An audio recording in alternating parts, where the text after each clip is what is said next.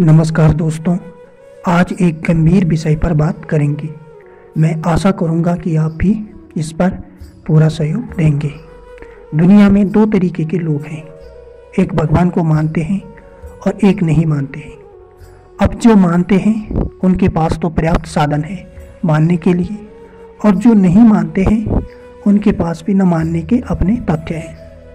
अब समस्या कहाँ खड़ी हो जाती है? अब यह सोचने की बात है।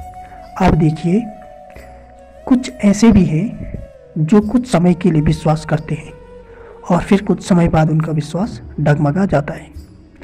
अब अगर मैं कहूँ कि दुनिया में सर्वश्रेष्ठ कौन है तो इंसान।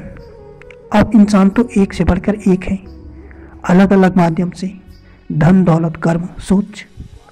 अब महत्वपूर्ण बात मैं आपके सामने रख रहा हूँ और आप भी अपना लॉजिक लगाएँगे। भगवान है, ये शब्द और ये वाक्य हमारे लिए काफ़ी है। अब क्यों है? देखिए, अगर हम मानते हैं कि भगवान है तो हमें अपने में ये एहसास ज़रूर होगा कि भगवान देख रहा है। हमें कोई गलत कार्य नहीं करना चाहिए। और करते हैं तो जो सर्वशक्तिमान है, वो दंड देगा और पाप के हकदार होंगे।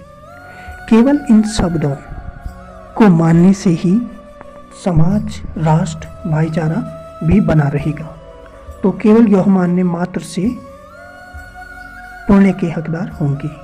तो हम कैसे नहीं माने कि भगवान नहीं है? तो दोस्तों, आप भी अपनी विचार कमेंट में रखें और वीडियो को एक लाइक भी अवश्य करें और साथ में चैनल को सब्सक्राइब भी करें।